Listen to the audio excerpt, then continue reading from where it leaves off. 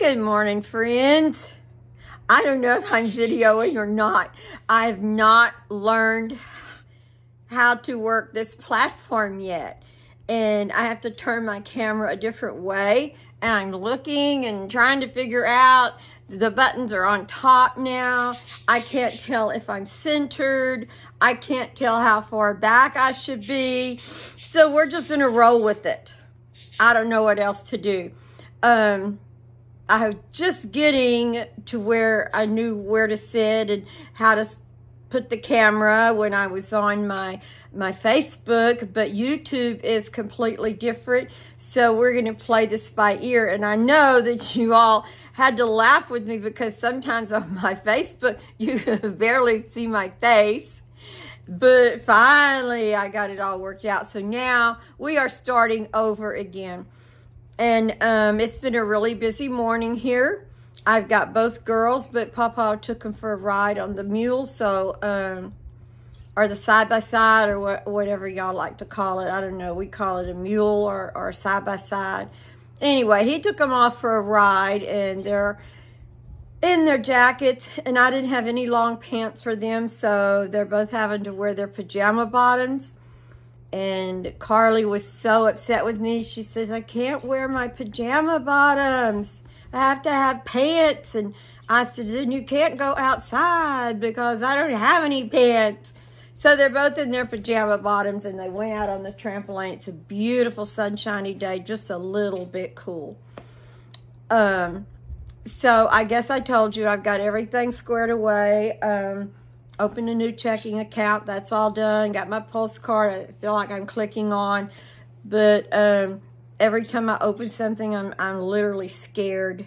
Scared to open Facebook. Any anytime I have to put in a password or something, I, I just like um, I take a second breath because um, I feel like I feel like somebody's watching me or something. I don't know. Anyway, um, I just want to tell y'all a little something. This morning, when uh, one of the days when I was going through all that hack and stuff, um, I just needed to get out of the house. And we didn't have Coda that morning. It was, uh, um, I can't remember now why we didn't have her, but we didn't have her that morning. We got her later that day. But uh, we rode out, just Gina and I, we rode out in the neighborhood. And I was really down. And uh, I said, let's go to the donut shop. And he said, all right. So he we get in the line and he goes, what do you want? I said, I want, I want two Long Johns. He goes, you want two of them? And I said, yes. And I'll take chocolate or I'll take caramel. I'll take whatever they have. And he said, you sure? Because I have been doing really good on my diet. And he said, you sure you want to? And I said, I do. Just let me have two Long Johns. So, okay, so he gets him two plain glazed donuts. Well, praise God, they only had one Long John. So God took care of that little urge for me. And then I, I got a, a Starbucks coffee in, in the bottle. And so Gina and I just drove around and we talked and, you know, how gullible I was and hope my brother's okay. And, you know, just chit chat as we drove around the neighborhood we got sort of to the back and there were no houses. It was just woods. And uh, I'm looking out my window and I, I'm, I'm feeling sad. Sad for myself. So sorry for myself. You know, like I'm the only person in the whole world this has ever happened to. It's poor me. You know, why do I have to go through this? Poor me. Um, and then I look out the window and, you know, it's, it's fall here and um, there were the beautiful trees, not the orange, not the red trees like some of you guys have there, but for us, it was just a, a, a beautiful piece of nature right there. The, the trees were turning orange, and then there were some yellow uh, jasmines, and then over here, there were some purple flowers. I do not know what they were, but they were beautiful. And then right in the middle of all that, it was just so colorful, there were some of those spider lilies popping up. And oh, God just came over me. And, and I think, look, look at that. It's beautiful.